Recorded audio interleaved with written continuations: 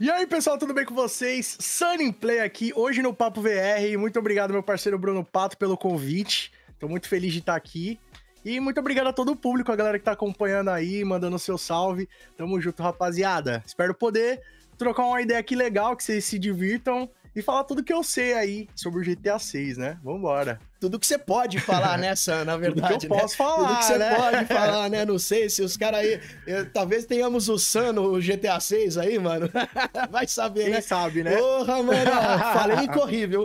Salve, salve, rapaziada, chegando aí no chat. Muito obrigado, Fredilho tá aí também. Salve, salve. SOS Drones, PokerStars ele joga também, hein? Cara, PokerStars é da hora, hein? Pedro Henrique também, seja bem-vindo. O, o Fred falou que o meu jogo predileto é o Fred Farcas. Caraca, mano. Meu, essa é da época do DOS, rapaziada. Da época do DOS, nem tinha Windows ainda tá direito. Tá entregando a ideia, tá entregando, entregando a idade, a idade aí, né, mano? Mas eu falo, só faço no dia 3 de outubro, 42 anos, mano, com muito orgulho Parabéns, e entradas. é, é o é o tio mais jovem que a gente tem aqui na comunidade gamer, pode Sou ter eu. certeza, né? O vovô garoto. Com certeza. Não, na moral, acho que todo mundo que, que te conhece sabe que você tem um astral muito jovem, tá ligado? Porra. Até eu me considero mais velho de espírito do que você, irmão. Não tem como. De jeito... Isso não, isso não, mano. Ô, Sam, deixa eu te falar, mano, é o seguinte, mano, é um prazer enorme ter você aqui, cara. Você é um grande prazer profissional e um grande amigo, já visitou o nosso estúdio aqui antes da reforma, Sam. Dois anos e meio que você veio aqui. A gente se encontrou Verdade. na BGS, a gente se encontrou no ano passado também no Big, mas nós estamos aí novamente. Você tá me devendo uma visita aqui pra gente fazer aquela realidade mista do GTA V, hein, brother? Exatamente. Inclusive, oh. é, pra galera que me acompanha, até postei na época, né? Tipo, o Bruno Pato foi o cara que me introduziu no universo do VR. E as primeiras experiências que eu tive, assim, jogando e aproveitando, né? Porque a primeira eu não consegui curtir muito bem, deu aquela sensação de mal-estar, né?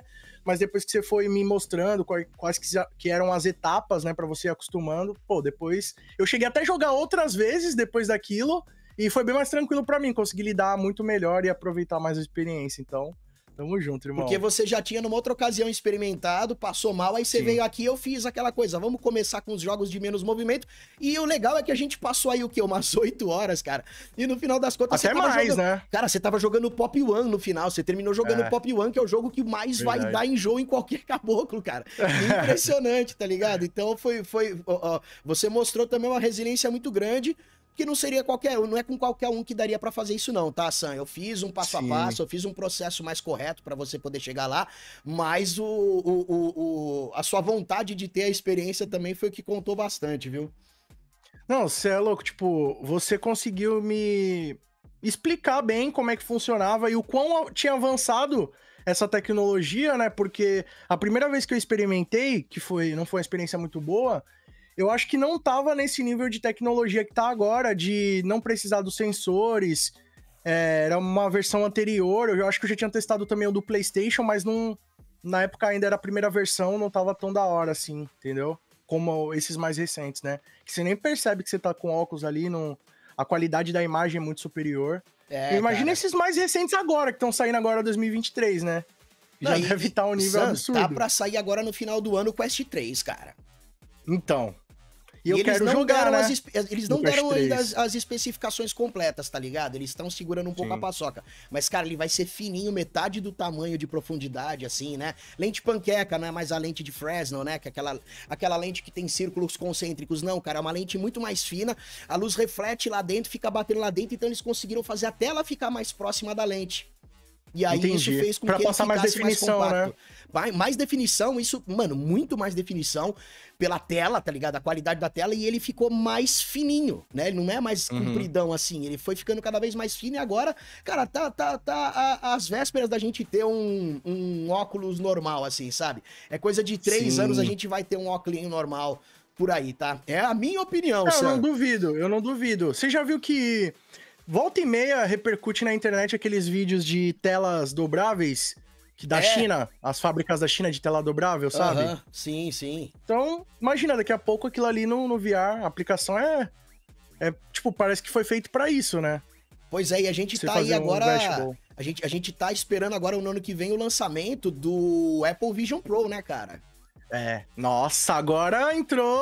Agora é brincadeira de gente grande, né? É, agora. Facebook, Apple, É, então, nossa, cara. É, é o que, que não vai dar isso daí, né? É, é, como se fosse uma guerra fria pelo, pelo, pela corrida do, do melhor VR, tá ligado? É isso Exato. que tá acontecendo, Sam. Né? Exato. E eu acho que em questão de construção, pelo menos do que eu vi ali do, do óculos da Apple, cara, eu achei impressionante. Porque eles conseguem. Cara, eu não vou. Não sou fanboy de nenhuma marca assim, principalmente dessas maiores.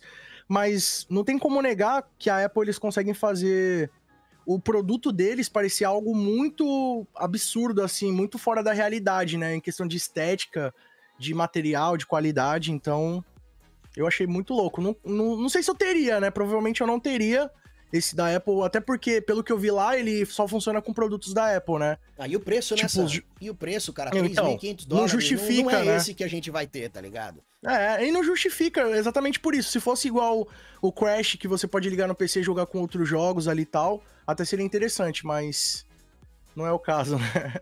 Pois é, cara. Sam, vamos fazer o seguinte, mano. Se apresenta pra rapaziada aí, porque se tiver alguém que tá morando em Marte e ainda não te conhece, é uma boa oportunidade para você se apresentar pra rapaziada, contar como é que você começou seu canal, como é que você chegou aí no GTA. Faz uma versão resumida que a gente tem um bom papo para trocar hoje aí, meu brother. Bom, basicamente, rapaziada, o meu canal, Sunny Play, é, já tem cerca de 11 anos que eu tô no YouTube, né? Na verdade, o Sunny Play tem 11 anos, mas do YouTube eu acho que eu já tô há 12 anos, né? E, enfim, comecei produzindo vlogs, depois parti pros games, que sempre foi minha maior paixão. E na época, né, o game no YouTube tava muito em alta, e eu pensava, qual o segredo ali para poder fazer o conteúdo de games, né? Na verdade, não só o game estava em alta, mas o, o, estilo de vídeo que predominava no YouTube eram os canais de games. Então, eu sempre ia nos eventos e me questionava, né? Qual era o segredo para os canais chegarem a ter sucesso no YouTube com games? E sempre o que me diziam era: faça do que você gosta que vai ter sucesso. E o jogo que eu sempre fui mais apaixonado, que eu sempre me interessei mais, era o GTA. Até porque eu nunca fui aquele jogador exímio, né? Um cara que muito manda muito bem nas jogatinas e tudo mais, mas eu sempre gostei do, da possibilidade que o GTA trazia de explorar o universo, que era algo que não era superficial como muitos jogos casuais que você jogava ali por 30 minutos e já enjoava. Era um jogo que passava tempo e sempre tinha uma coisa nova para descobrir, tinha um detalhe a mais, tinha um cuidado ali do estúdio para colocar um, um universo vivo, então isso sempre me encantou. E foi por isso que eu comecei a me aprofundar dentro do GTA muito antes de fazer vídeo, já começava a estudar sobre os mistérios, sobre as histórias por trás, inspirações, as cidades que a Rockstar Games se baseava. É, por todo esse universo do game, sempre pesquisava bastante, até que lá mais ou menos para 2011 o GTA V foi anunciado e eu já tinha vontade de fazer o canal, na época eu trabalhava numa emissora de televisão, e um amigo meu, que é youtuber também, o Rick, ele me apresentou o YouTube como criação de conteúdo, e foi quando eu comecei a criar meus vídeos ali, principalmente de games, né? E fui me uhum. aprofundando na questão do GTA. E a minha ideia, desde que eu criei o canal, era algum dia me tornar referência no, no, universo do GTA ali no YouTube. Assim como outros youtubers que eram referência em outros jogos e eu admirava, como por exemplo, é, o Funk Black Cat, Edu, Zangado, é, o Hayashi, já eles eram referências. O Zangado já tinha canal nessa época. Com certeza, pô. Esses caras são os dinosaurs, né, velho? Tipo, os uhum. caras são os pioneiros, né? Quando eu comecei no YouTube, era predominantemente os maiores canais do YouTube eram de games. Tinham canais de vlog também que eram gigantes, tipo Felipe Neto, Cauê Moura. Só que é, o, a nova geração que tava chegando ali, a, o que era mais perto do, do público de, em criação de conteúdo, eram os games, né?